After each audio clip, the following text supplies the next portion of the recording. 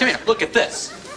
He cleaned in the little one-inch area between the refrigerator and the counter. How'd he get in there? He must be like Rubber Man.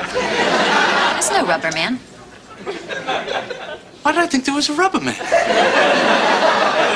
It's Elastic man. Plastic. I'm leaving.